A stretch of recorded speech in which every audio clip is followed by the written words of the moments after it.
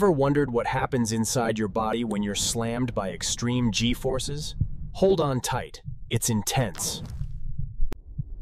Under extreme G-forces, your heart works harder to pump blood upward, fighting against intense pressure. When G-forces spike, blood is pulled from your brain, slightly compressing it inside your skull. Your eyes struggle as blood drains, vision narrows, and can even go dark for moments. The heart pumps harder, blood surges to keep vital organs alive under extreme force. Muscles tighten, reflexes sharpen, the body fights back instinctively to survive.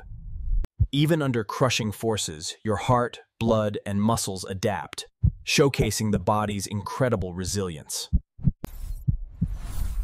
Your body is built to survive, even when pushed to its absolute limits.